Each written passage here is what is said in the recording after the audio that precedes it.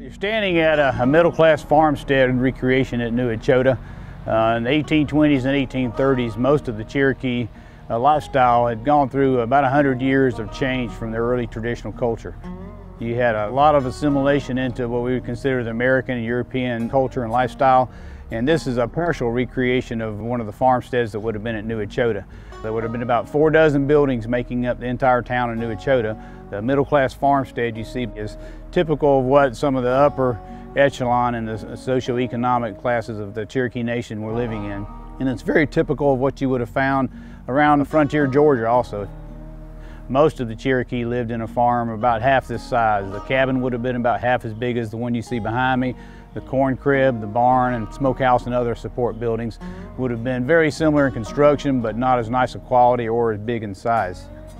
There were about 60 year-round residents at New Echota. That included Cherokee, that included uh, non-Indians, missionaries like Samuel Worcester who lived here, uh, African-American slaves who some of the Cherokee did own and farmed their land around the Cherokee Nation, as well as mixed blood, some who had intermarried into the Cherokee Nation, both of white and of uh, Native American and African-American ancestry. There were about 60 residents, about four dozen buildings, and that included the public buildings like the council house, the courthouse, the printing office for the newspaper that was at New Echota, but everything else would have consisted of buildings like you see behind me. And the changes that were going on in their culture and their lifestyle by this time period was for a couple of reasons. One, a lot of it made life a lot easier for them. If they had access to firearms that they could trade for during the 1700s, if they had access to metal tools to farm with, then that gave them a lot easier lifestyle for their farming activities and the earlier tools they had.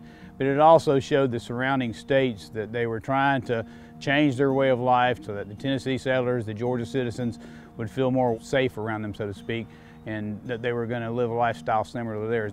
We had already developed that melting pot philosophy of, you know, if you live like us and be like us, we'll accept you like us. Uh, over the years, it came to be that just wasn't going to be happening.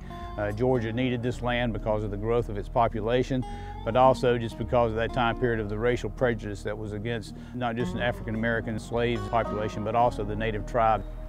There were a lot of mineral rights that the state of Georgia wanted to control. A lot of people think of gold being the main culprit of what made the Cherokee lose their land, but it was really the land itself. When the land was given away in the Georgia Land Lottery, they were acquiring good farming land as well as the mineral riches of things like gold.